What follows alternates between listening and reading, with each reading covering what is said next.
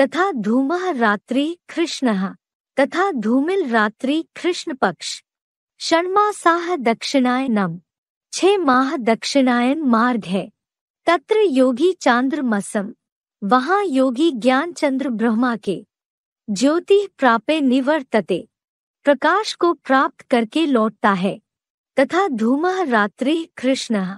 षण्मासाह दक्षिणायनम तत्र योगी चांद्र मसम।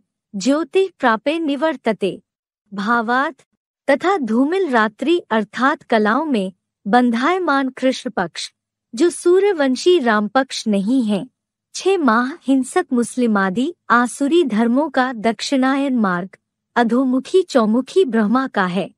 वहाँ बरबस मृत्यु प्राप्त अर्ध योगी अनेकों से सुनी सुनाई बातों के कारण से कलाबद्ध ज्ञान चंद्र ब्रह्मा के धूमिल प्रकाश को प्राप्त करके, इसी भटकाने वाले द्वैतवादी नरक में भूतादि बनकर लौटता है।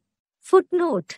जैसे चतुर्मुखी ब्रह्मा के पक्षपाती, बी के प्रकाशमणि, बी के जगदीश, बी के रमेश आदि सारे ही नीची कुरी के ब्राह्मण सूक्ष्म देह ले रहे हैं, जो पुरुषोत्तम संगमी शूटिंग प्रमाण, द्वापुर से ही भूत प्रेत भी बनते रहते हैं।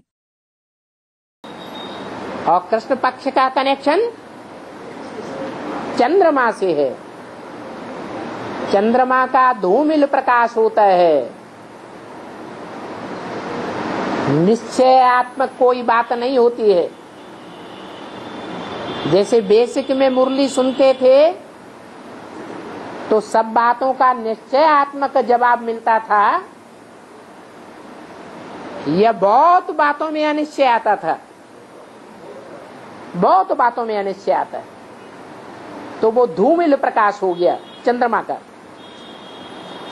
उसे चंद्र पक्ष कहो, कृष्ण पक्ष कहो। वो कृष्ण पक्ष है, ब्रह्मा के पार्ट से कनेक्टेड है। और सूर्य पक्ष मन शुक्ल पक्ष है। वो ज्ञान सूर्य के पार्ट से कनेक्टेड है। सोम कहते हैं चंद्रमा को। है और चंद्रमा का पार्ट है ब्रह्मा का क्योंकि चंद्रमा क्षीण होता है फिर चंद्रमा संपूर्ण होता है। जब धरती माता कन्याओं का प्रभाव पड़ता है परछाया पड़ता है तो छीन हो जाता है। और जब इनका परछाया उनका प्रभाव से दूर होता है तो सारा चंद्रमा गोरा हो जाता है। तो ये बात किसकी है? कौन सी आत्मा की बात है, है? दादा लेखराज? ब्रह्मा की बात है। जब ज्ञान सूर्य का जो प्रैक्टिकल पार्ट है उसका असर पड़ता है तो गोरा, और कन्या माताओं के प्रभाव में रहता है तो धीरे धीरे कालापन बढ़ता जाता यहाँ तक बढ़ते बढ़ते अमावस्या के दिन पूरा काला तो उस काले को कहते हैं कृष्ण पक्ष, काला पक्ष, दक्षिणायन मार्ग है, अंधकार का मार्ग है। ऐसे गीता में बताया, अंधकार का मतलब भूत प्रेत बहुत काम करते हैं। जो दूसरे धर्म की आत्मा है ना, वे धर्मी उनका बहुत वर्चस्व रहता है। जो असुर है, वो मैदान में आ जाते हैं। उन असुरों की तरफ़ चले जाते हैं। उसको कहते हैं सनसेट पॉइंट माउंट आबू में यादगार बनी हुई है। सूर्य अस्त हो गया। कहा? पश्चिम में। पश्चिमी सभ्यता में। पश्चिमी सभ्यता कहो, दक्षिणी सभ्यता कहो, जहाँ मुसलमानों का और क्रिश्चियंस का राज्य वहाँ सूर्य अस्त हो गया। सूर्य वहाँ चला गया। तो वो दक्षिणायन हो गया। अब दक्षिणायन से फिर उत्तरायण आता है। सन में। सात नारायण बचे जो कम कलाओं वाले हैं, कम जन्म लेने वाले हैं। षष्टि रूपी रंगमंच पर बाद में उतरने वाले हैं। तो ऑलराउंड पार्ट बजाने वाले हैं या अधूरा पार्ट बजाने वाले हैं? अधूरा पार्ट बजाते हैं। नंबरवार कम अनुभवी बनते हैं इस दुनिया के। या हीरो पार्टधारी के मुकाबले बराबर अनुभवी बनते हैं। जब कम पार्ट बजावेंगे तो अनुभवी भी कम बनेंगे। इसलिए वो कमज़ोर आत्माएँ जब द्वापर शुरू होता है तो द्वैतवादी युग में पहुँच करके और और धर्मों के प्रभाव में आ जाती है। वो इब्राहिम के इस्लाम धर्म में कन्वर्ट हो जाती है। वो नारायण भी कम कला के और उनकी सारी प्रजा भी। तो वो कमज़ोर आत्माएँ ब्रह्मा की गोदी में पली हैं। यज्ञ के आदि से लेकर के और सिक्सटी नाइन अठारह जनवरी तक। अभी भी पल रही है। क्योंकि ब्रह्मा की ही बुद्धि में अभी तक नहीं बैठा है गीता का भगवान। कौन है? तो एक भूल के कारण सारा सत्यानाश होता रहता है। और दुनिया में असत्य का बोला बोल वाला होता रहता है।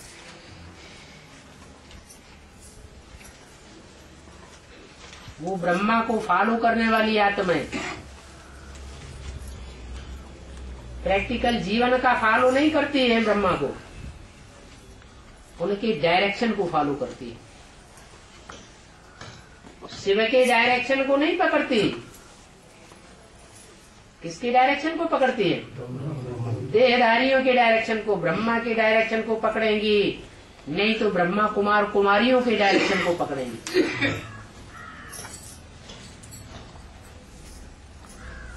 मुखवंशावली कहे जाएँगे, या मुखवंशावली कहे जाएँगे?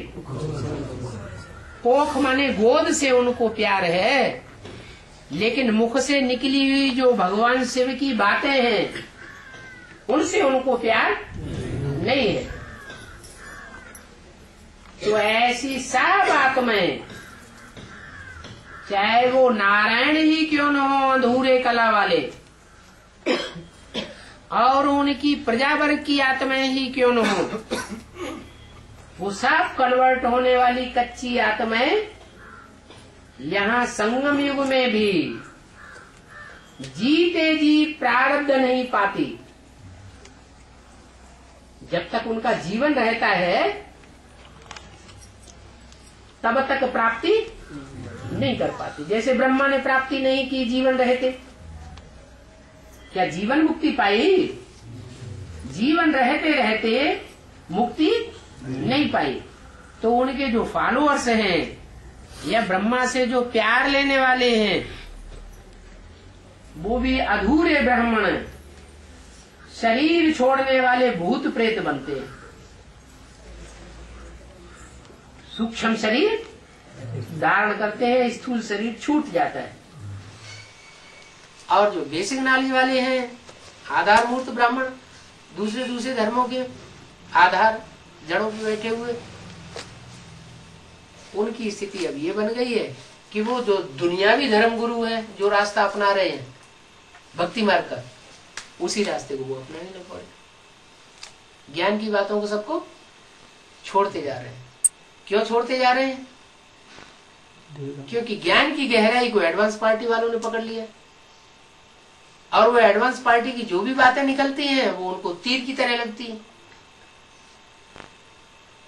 जैसे राम के बाण हो तो तिल मिला जाते हैं सुनकर के। जवाब उन पर आता नहीं, इसलिए घृणा करते हैं।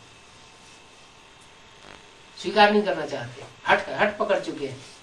भले अंदर से समझते हैं कि ये सच्चाई है तो भी तो भी विरोध करते हैं। तो सच्चाई को उन्हें स्वीकार नहीं करना है। देहभान इतना ज़्यादा है देह अहंकार इतना ज़्यादा है कि मरते मरते मर जाएँगे। ब्रह्मा बाबा को याद करने वाले किसकी गति को पाएँगे? जो ब्रह्मा की गति हुई होगी वो उनकी गति होगी। और जो बड़े बड़े दीदी दादी दादा कैसे शरीर छोड़ रहे हैं? अकाली मौत में शरीर छोड़ रहे हैं। जैसे ब्रह्मा ने अकाली मौत में शरीर छोड़ा ऐसे उनके भी अकाली मौत में शरीर छूट रहा है। तो जिनका अकाली मौत में दुनिया में भी शरीर छूटता है वो सब सूक्ष्म शरीर धारण करते हैं। ये सूक्ष्म शरीर क्यों मिलता है? इसलिए मिलता है जो ज़्यादा पाप करते हैं, वो उनको थोड़े समय ज़्यादा पाप न कर सके, इसलिए उनको अपना शरीर नहीं मिलता क्योंकि शरीर के आधार पर ही पाप पुण्य बनता है तो उनको सूक्ष्म शरीर मिल जाता है। और सूक्ष्म शरीर में पाप पुण्य का लेप छिप लगेगा नहीं। वो तो जिसमें प्रवेश करके पार्ट बजाएँगे उसके ऊपर सारा भार चला जाएगा। तो थोड़े समय के लिए वो पाप न करें उनके पाप का बोझा ज़्यादा न बढ़े इसलिए वो सूक्ष्म शरीर मिलता है। मिलता किनको है? अकाली मौत वालों को। अकाली मौत किसकी होती है? जो ज़्यादा पाप करते हैं। से प्रजापिता वाली आत्मा जब मरण चक्र में आता है वो कभी कभी सूक्ष्म शरीर लेता है या नहीं नहीं प्रजापिता वाली आत्मा दुनिया की सबसे जास्ती ज्ञानी तू आत्मा है। शिव बाबा के डायरेक्शंस को फॉलो करने वाली है या नहीं फॉलो करने वाली है? तो जो विधान को मानने वाला है विधान को जानने वाला है विधान के आधार पर संविधान के आधार पर चलने वाला है वो सजा भोगेगा या नहीं भोगेगा? है? नहीं भोगेगा। तो ये जो सूर्यवंशी आत्माएँ हैं, जो पहले नंबर की प्रजा है, वो सब ज्ञानी तू आत्माएँ हैं। वो ऐसे पाप कर्म नहीं करती जगन ने जो उन्हें भूत प्रेत बनना पड़े।